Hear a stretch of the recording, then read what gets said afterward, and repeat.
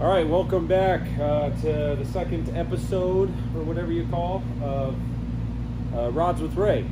Today we're going to be working on my 1947 Ford. Uh, it's one of my favorite cars I own, um, very special to me.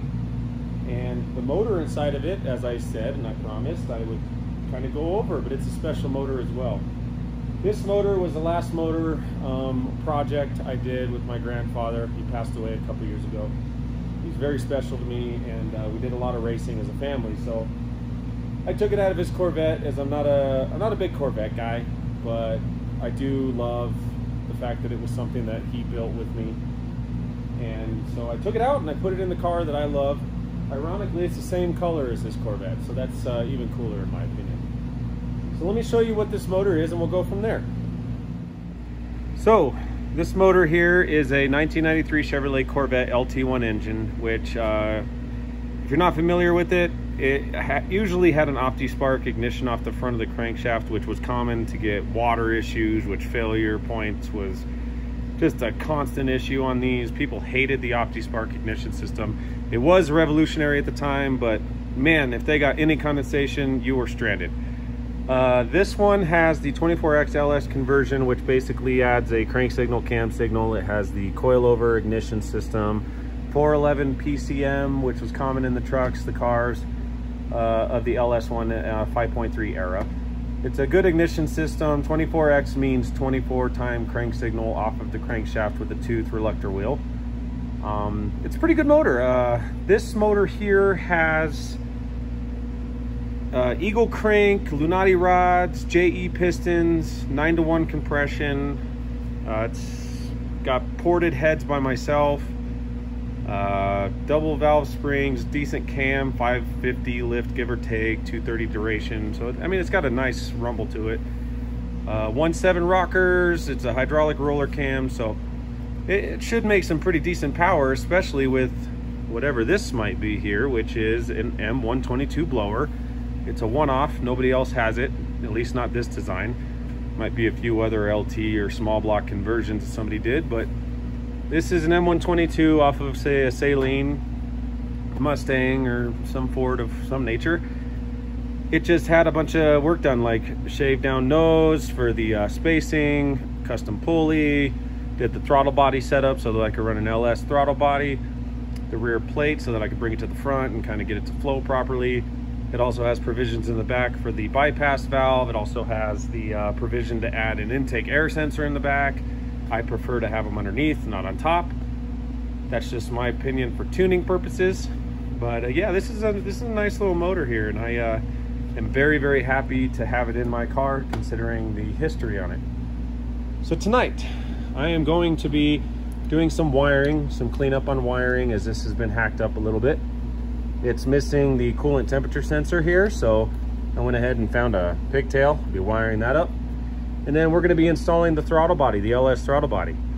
But before we do that, I have to design a bracket uh, to basically add this universal throttle cable. So probably come off this bolt here. Um, we'll make a temporary bracket for now and then maybe someday make something a little prettier. So I'm mocking up the throttle body here. And basically, as I look at the throttle bracket, I don't have a permanent solution, but I do see this angle bracket I found over a Big R might be perfect. It's very strong, it's rigid, and it doesn't quite line up with this hole here that I want to put it on. So I'm gonna have to either cut and trim this bottom section and figure out a way to drill a hole so I can fit a bolt right through there. But for now, I'm gonna bring the throttle body over and kind of mock up the location of where the blade is gonna be so that I can put this bracket here to put the cable on and get the right uh, articulation for the throttle pedal. So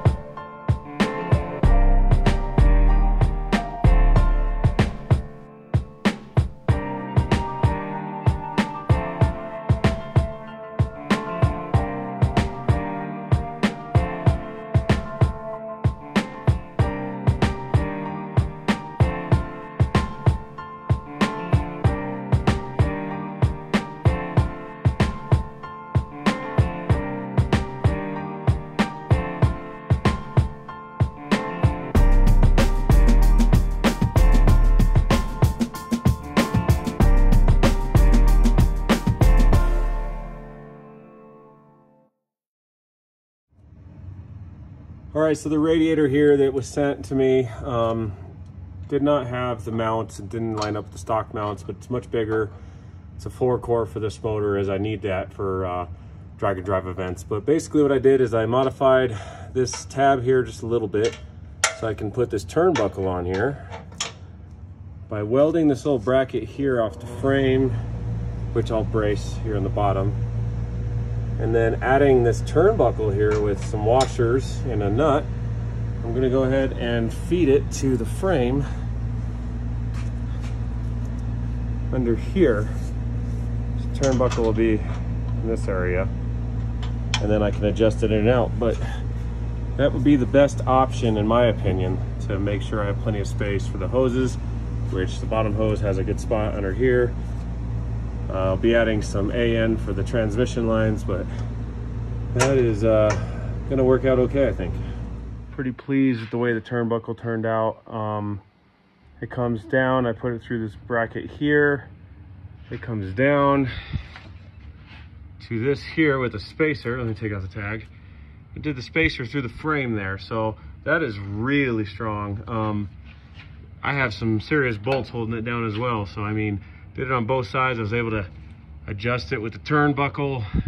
And I got the mounts down here I got to paint up.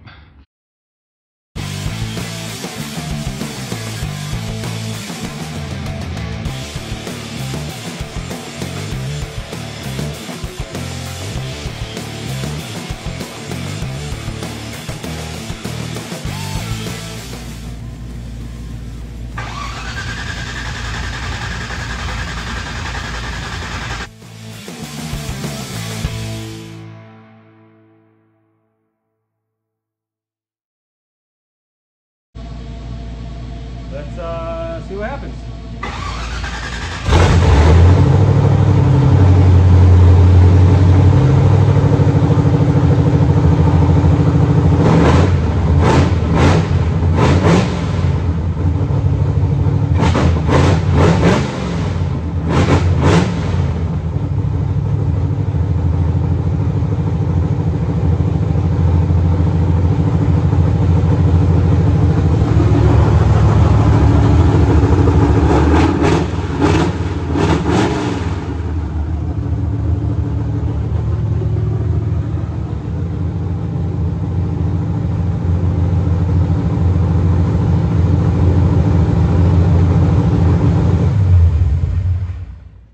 right, that was a good first startup with the motor that we just went through. Uh, it's a dedication to my grandfather. He's He'd be very proud to see that in that car.